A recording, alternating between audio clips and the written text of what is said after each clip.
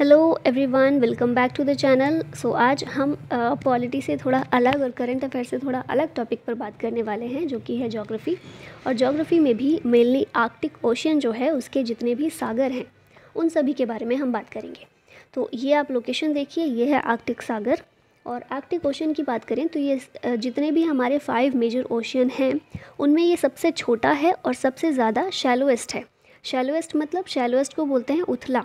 ठीक है, उथला सागर आपने सुना होगा, जिसकी जो औसत गहराई है वो 200 मीटर तक ही होती है, बहुत ज़्यादा गहरे नहीं होते, उन्हें बोला जाता है शैलो ठीक है तो ये स्मॉलेस्ट और shallowest of the world's five major ocean है।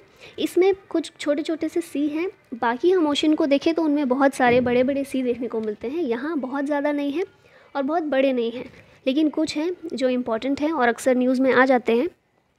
तो जैसे कि चुपची सी है, East Siberian Sea Laptev Sea, Kara Sea, Barents Sea, White Sea, Wandel Sea, Greenland Sea, Baffin Bay, Hudson Bay Amundsen Gulf और Beaufort सी।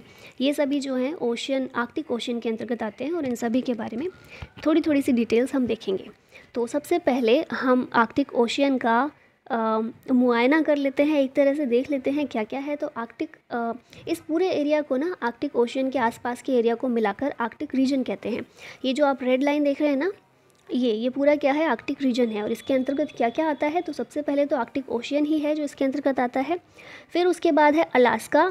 ये देखिए, Alaska ये USA का एक रीजन है, एक क्षेत्र है अलास्का। ये इसके, इसका जो क्षेत्र है आर्कटिक ओशन के अंतर्गत आता है, फिर उसके बाद है कनाडा हमारे पास, फिर ग्रीनलैंड है, फिर उसके बाद नॉर्वे स्वीडन और डेनमार्क ये जो तीनों कंट्रीज़ हैं, इन, इनके एरियाज़ भी इसके अंतर्गत आता है आर्कटिक रीजन के अंतर्गत आता है, और उसके अलावा रशिया और आइसलैंड ये भौगोलिक रूप से अगर हम देखें तो ये क्षेत्र, इन कंट्रीज़ के क्षेत्र आर्कटिक रीजन के अंतर्गत आते हैं, और ये जो आप देख रहे हैं इस आर्कटिक ओशियन में कई सारे सी आपको देखने को मिल रहे होंगे। हडसन बे है, ग्रीनलैंड सी है, कारा सी है, बेरन सी है, Laptev Sea, East Siberian Sea Chukchi Sea, Beaufort Sea, ये सभी जो सागर हैं, ये आर्कटिक ओशियन के अंतर्गत आते हैं, जिनके बारे में हम थोड़ी थोड़ी सी डिटेल्स देखेंगे। ठीक है तो बात करते हैं सबसे पहले चुकची सी चुकची सागर। इसकी बेसिन कंट्रीज़ कौन सी हैं? तो रशिया और यूएस है। ये, देखिए आपने ये चीज़, ये फैक्ट पढ़ा होगा कि बैरिंग जल संधि जो है, बेरिंग जल संधि रशिया और यूएसए। इन दोनों के बीच में पड़ती है, इन दोनों को अलग करने का काम करती है ना। वाटर बॉडी है, एक छोटी सी, जो इन्हें अलग करती है। तो यहीं पर आपको ये चुपची सी देखने को मिलेगा, इस एरिया में। और बॉर्डर कहाँ कहाँ से बॉर्डर करता है? तो ऑफकोर्स अलास्का जो यूएसए का है, और रशिया। ये इसके आसपास पड़ता है ईस्ट और वेस्ट में। इसके अलावा इधर देखिए वारंगल आइलैंड है, जो इसके वेस्ट में पड़ता है, और एक बैरो पॉइंट है पॉइंट बैरो जो कि इसके ईस्ट में पड़ता है। ठीक है, और ये जो आप लाइन देख रहे हैं ना, ये क्या है? ये अंतर्राष्ट्रीय तिथि रेखा है इंटरनेशनल डेट लाइन है, जो इसके बीच से होकर गुजरती है। नेक्स्ट है हमारे पास ईस्ट साइबेरियन सी इसका भी जो बेसिन कंट्रीज़ हैं रशिया और यूएसए ये दोनों हैं। यहाँ देखिए, ये हमने देखा था चुपची सी, ये था वारंगल आइलैंड और यहाँ पर है ईस्ट साइबेरियन सी ठीक है मेनली ये जो रशिया का साइबेरिया वाला रीजन है। इसके अंतर्गत ये पड़ता है लेकिन बेसिन कंट्री इसकी यूएसए भी है अलास्का ठीक है? कहाँ इसकी लोकेशन क्या है? तो it is located between north से आर्कटिक कैप पर लोकेटेड है। साउथ से देखें तो कोस्ट ऑफ़ साइबेरिया साइबेरिया का ये जो तट है इससे ये आ, सीमा साझा करता है। फिर वेस्ट में देखें तो वेस्ट में लापतेव सी है जिसको हम अभी आगे देखने वाले हैं और ईस्ट में है चुपची सी और वारंगल आइलैंड ठीक है? नेक्स्ट आ जाते हैं लापतेव सी पर तो इसकी बेसिन कंट्री पूरी तरह से रशिया है। ये आप देखिए अभी हमने ईस्ट साइबेरियन सी देखा था। इसी के बिल्कुल वेस्ट में है लापतेव सी। ठीक है और इसके वेस्ट में क्या है? कारा सी है जो हम आगे देखेंगे। अब यहाँ पर कौन कौन सी लोकेशन है? तो यहाँ आप एक आ, ये देखिए आइलैंड कौन सा है? न्यू साइबेरियन आइलैंड और यहाँ पर है सेवरनाया जेम जेमलिया आइलैंड तो इन दोनों आइलैंड के बीच में ये पड़ता है। और सी की बात करें तो ईस्ट में है ईस्ट साइबेरियन सी और वेस्ट में है कारा सी। इसके अलावा कारा सी अच्छा ये तो हमने बात कर ली है। ठीक है नेक्स्ट पर आते हैं। तो नेक्स्ट है हमारा कारा सी। ये इसकी भी बेसिन कंट्री पूरी तरह से रशिया है। ये आप देखिए, ये पूरा एरिया जो है कारा सी का है। इसके ईस्ट में है लापतेव सी, इसके वेस्ट में है बैरन सी। ठीक है, ये तो हो गए सी। अब हम अगर आइलैंड की बात करें तो यहाँ पर रशिया का आइलैंड है नोवाया जेमलिया, ये इसके नॉर्थ इसके वेस्ट में पड़ता है, ठीक है, और ईस्ट में वही है जो पीछे हमने देखा था, सेवर नया जेमलिया, ये भी रशिया का ही है तो क्योंकि बेसिन कंट्री पूरी तरह से रशिया है तो आसपास इसके रशिया ही पड़ता है, ठीक है, ये चीज़ें याद रखिएगा कि ईस्ट में लापतेव सी है और वेस्ट में कौन सा है बैरन सी। अब अगर बात करें कारा सी, इसका नाम कैसे पड़ा है तो एक रिवर है, कारा रिवर, रशिया की, इसके नाम पर इसका नाम पड़ा है, और इसलिए ये इंपॉर्टेंट है क्योंकि 1965 से 1988 में सोवियत यूनियन उस समय का, जो कि अब रशिया है, उसने छः न्यूक्लियर सबमरीन रिएक्टर्स और दस न्यूक्लियर रिएक्टर्स इस रिवर में डंप किए थे। ठीक है, इसलिए उस समय काफ़ी न्यूज़ में थी। नेक्स्ट है हमारा बैरन सी हमने देखा था पहले कारा सी ये देखिए, और अब इसके वेस्ट में आ जाएँगे तो आ जाएगा बैरन सी बैरन सी कहाँ पर है? तो ये नॉर्वे और रशिया इन दोनों के कोस्ट पर लाई करता है। नॉर्वे देखिए, ये है लोकेशन नॉर्वे की। ठीक है तो यहाँ नॉर्वे का कोस्ट है और यह है रशिया का कोस्ट और इसके बीच में है बैरन सी बैरन सी के वेस्ट में या फिर नॉर्थ नॉर्थ वेस्ट में एक आइलैंड है जो कि नॉर्वे का है। क्या नाम है इसका? स्वालबर्ड आइलैंड आगे भी इसका नाम आएगा तो इसको याद रखिएगा। नेक्स्ट है हमारा वाइट सी वाइट सी जो है ये पूरी तरह से रशिया के बीच में है। रशिया ही इसको चारों ओर है बेसिन कंट्री है। ये है वाइट सी की लोकेशन और इसमें दो चीज़ें आपको बहुत अच्छे से याद रखनी है। एक है कोला प्रायद्वीप या कोला पेनिनसुला और दूसरा है कैनिन पेनिनसुला या कैनिन प्रायद्वीप। इनके नाम आपने जोग्राफी में पढ़े होंगे। तो इन दोनों प्रायद्वीप के बीच में है वाइट सी और क्योंकि चारों तरफ़ से रशिया ही इसको घेरे हुए है, इसलिए रशिया की सोवरेनिटी यहाँ पर है रशियन सोवरेनिटी है। और ये जो सी है वाइट सी इसे रशिया का इंटरनल वाटर का पार्ट समझा जाता है। नेक्स्ट है हमारी वानडेल सी वानडेल सागर ये देखिए लोकेशन इसकी. आ, ये इसकी बेसिन कंट्री दो हैं. पहला तो ग्रीनलैंड जो यहाँ पर दिख रहा है. और साथ ही में इस साइड ना इसके ईस्ट में स्वालबर्ड आइलैंड है. किसका था वो? नॉर्वे का था.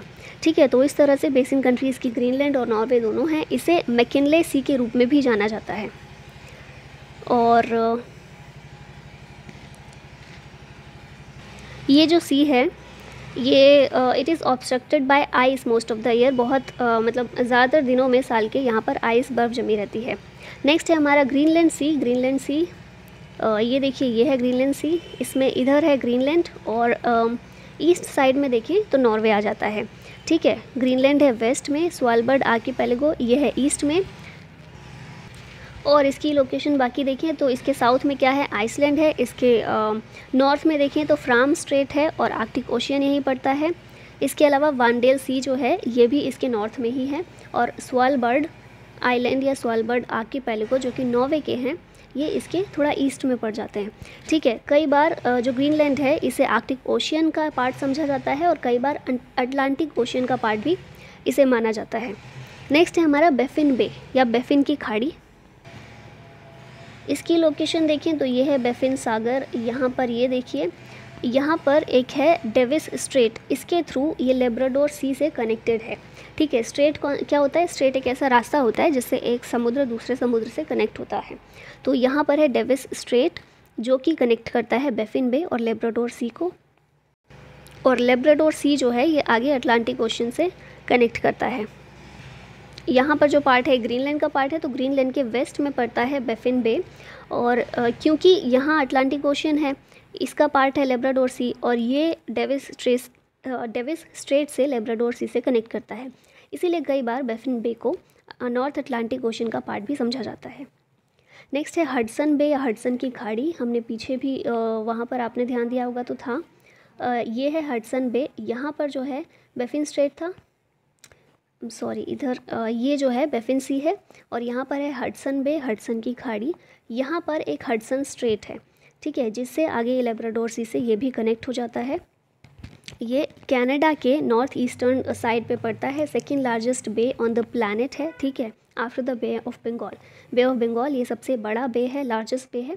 सेकेंड लार्जेस्ट है हडसन बे, ठीक है बेसिन कंट्री इसकी है कनाडा और यूएस और इसके अलावा एक और फैक्ट है कि Hudson Bay is also the largest inland sea in the world ठीक है तो ये सभी चीज़ें हैं हडसन बे के बारे में। नेक्स्ट है अमंडसन गल्फ इसकी बेसिन कंट्री है कनाडा लोकेशन देखें तो यहाँ पर है अमंडसन गल्फ और ये Banks Island and Victoria Island इन दोनों के बीच में है। तो कहाँ पर है ये? ये है बैंक्स आइलैंड ये है विक्टोरिया आइलैंड और वेस्ट में जाके ये बिफोर्ट सी से मिल जाता है। एक इंपॉर्टेंट चीज़ यहाँ पर यह है कि ये है अमेंडसन गल्फ़ और इसके अलावा एक अमेंडसन सी है और एक अमेंडसन बे है। तो इनसे कंफ्यूज नहीं कीजिएगा क्योंकि ये दोनों अंटार्कटिका में हैं। ठीक है, और हम अभी आर्कटिक रीजन की बात कर रहे हैं। नेक्स्ट है बिफोर्ट सी, इसकी बेसिन कंट्री कनाडा और यूएसए है। ये है बिफोर्ट सी, ये पूरा एरिया जो है। ये है अलास्का, जो कि यूएसए का है और ये है कनाडा तो इसीलिए बेसिन कंट्रीज़ ये दोनों हैं। यहाँ पर ये देखिए बैंक्स आइलैंड है। यहाँ था अमेंडसन गल्फ जो हमने पीछे देखा था। और कनाडा की एक लॉन्गेस्ट रिवर है, ये देखिए मैकेजी रिवर ये अपना जल बफर्ड सी में आकर ही गिराती है, इसलिए भी इंपॉर्टेंट है, याद रख सकते हैं। सी का नाम रिवर का नाम याद रख सकते हैं।